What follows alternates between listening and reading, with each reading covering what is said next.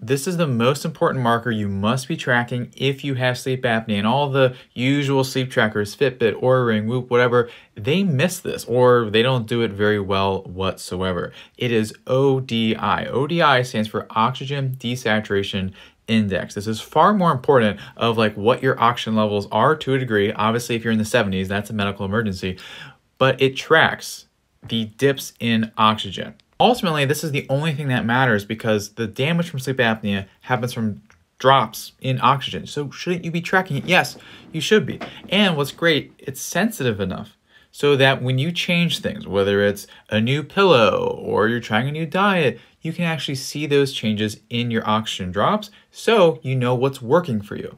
I am not affiliated with any of these, but these are some of my favorite EMAY. And then you have the Concord wristband and the Wellue. Now, a lot of people have been reporting improvements in this metric by following one of our step-by-step -step breathing protocols. You can go ahead and grab one made just for you. Click the big red button here or the shop button if it's down here, or definitely the website over my face.